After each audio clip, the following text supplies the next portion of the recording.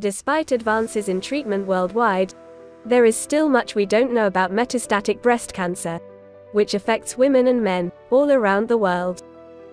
That's where the Aurora study comes in.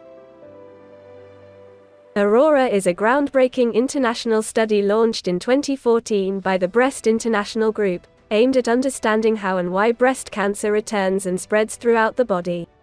This understanding could help us develop more effective treatments, and, one day, a cure for breast cancer. So far, over 1,100 women and men with advanced breast cancer have been enrolled in Aurora. More than 6,000 collected samples in the biobank can be used to advance research. More than 1,600 unique molecular variants in the patient's tumor DNA have been analyzed and reported to the treating doctors. Aurora is a powerful example of international collaboration in the fight against breast cancer. Researchers are analyzing 411 genes in primary and metastatic tumors from patients from 62 hospitals in 11 countries across Europe.